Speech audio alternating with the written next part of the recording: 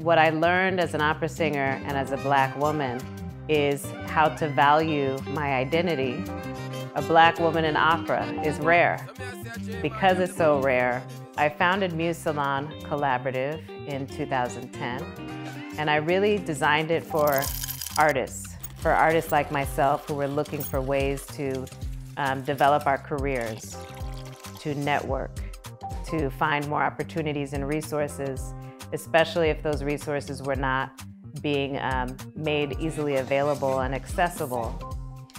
This year, I have the opportunity to be curator in residence with Art on the Atlanta Beltline. I'm coming in as a musician into the role of curation. I think I'm the first musician uh, to be curator in residence this year.